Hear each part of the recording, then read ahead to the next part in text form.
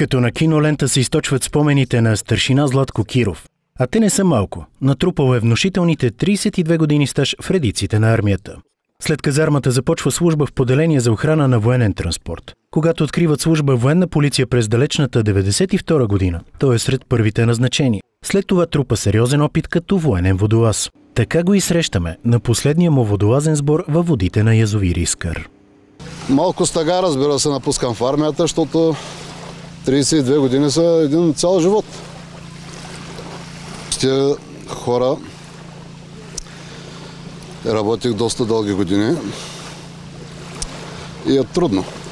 Трудно е да ги напусна. Трудна ще бъде разделата с колегите от армията, които с годините са се превърнали във верни приятели, но остават спомените. И от приятните моменти, и от страшните. Каквито в кариерата на Златко е имало в изобилие, като нападението над базата в Афганистан, където е участвал три пъти в мироопазващи мисии. Хеликоптера, както лети, накланя се, изведнъж почва та та та та та та та та е, такива големи дупки стават на сградата от тухлите. Беше на, наистина от около 40 метра стои на тебе хеликоптера и ти виждаш истинския бой. Нали, три мисии имам, на такова нещо не, не бях виждал.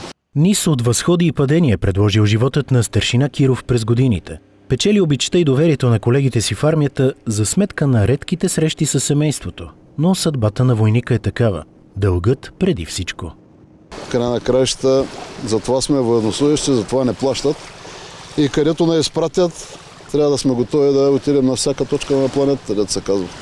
Тъгата от предстоящата раздяла с армията е обяснима, но Златко е оптимист. Създава приятелства до живот и от щастливците успели да превърнат хобито си в професия. Така възнамерява да запълва времето си, когато се пенсионира.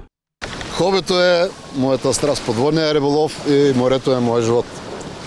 Затова станах водолаз, въпреки че станах водолаз малко на късните години, на 40-42 години станах водолаз, но морето е моята стихия. Перспективата на изминалото време не променя мнението на Златко за армията и службата му. Има ли възможност? Пак би направил същия избор. Пак бих станал военен полицай. Това ли е твоето призвание? Беше чест за мен да служа във военната полиция. С гордо вдигната глава и с чувство за добре изпълнен дълг започва най-хубавият период от живота на старшината. Живот интересен, предизвикателен, осмислен и посветен на българската армия.